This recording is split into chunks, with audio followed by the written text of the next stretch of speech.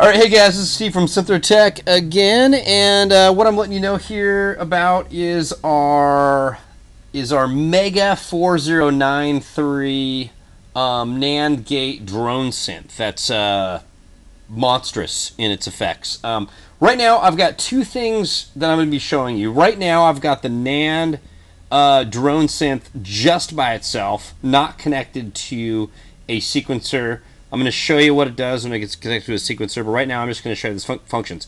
What it is, is it's a 4093 chip, um, NAND gate chip that is being controlled by four different 555 oscillators that basically um, just the uh, the the five five timers actually kind of merge together to kind of mess around with the sound. So really, there are four discrete channels, but what they do is they all kind of like meld together to kind of base off each other, and it gets really crazy. It takes a little bit of practice. Um, it's fun to mess around with. Uh, I'm going to show you some of the stuff on it. Then I'm hook up to a sequencer and kind of show how you can uh, adjust some of the sounds that way. But anyway, here we go. So I'm going to turn it up a little bit.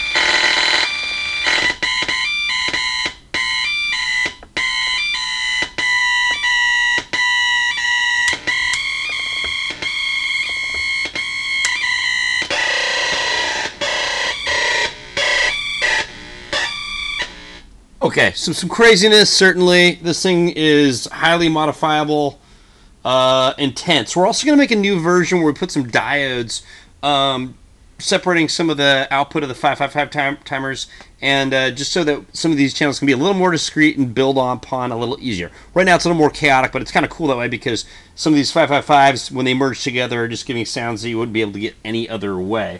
So um, put this through some effects, you're definitely going to get something cool. Um, right now I'm putting this over so all of my switches for the CV input from my 8-step sequencer are going to come into this bad guy. So as far as we're going to we're, we're going to see some weird stuff that happens with the, with this.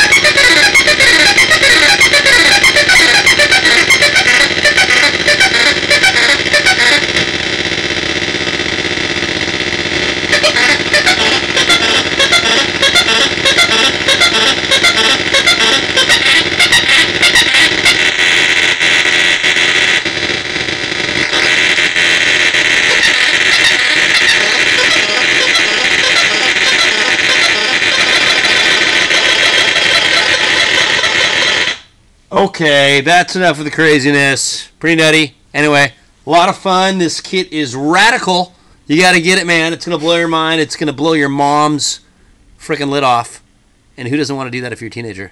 And I'm 34, and I still want to do it. So, anyway, buy this crap. Thanks.